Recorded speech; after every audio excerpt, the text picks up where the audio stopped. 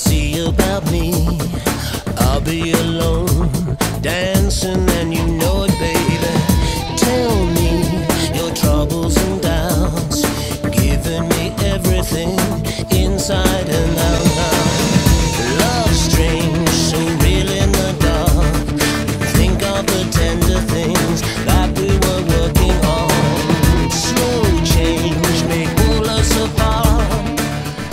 Ja, het wordt heel bruut. Het is echt, eh, wat we in, het Chassé Theater neerzetten, wordt de grootste oudejaarsconferentie ooit.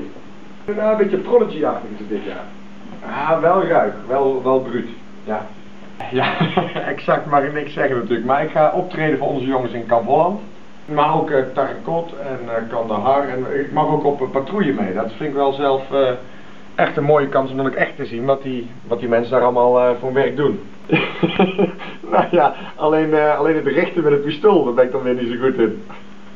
ik zou denken als ik een kogel aan zie komen en, ik, en dan, dat hij mij juist raakt als ik wegspring.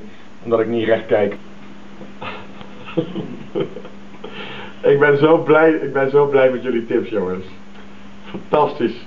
Ja, dit, dit, dit is geen, het is geen uh, kattenpis hoor. Nee, echt niet. Ik, maar ik, ik, moet ook heel eerlijk zeggen, ik ben er een beetje ingeluisterd. Want ze zeiden tegen mij van, uh, uh, of ik wilde optreden voor Defensie. Dus ik dacht dat er allemaal, dat er een paar 116-jarigen... Ik, nee, ik dacht dat, ik dacht, dat, laat mij nou eens even uitpraten Theo. Ik dacht dat er gewoon 516-jarige meisjes zouden zitten van van het meisjesblad Defensie.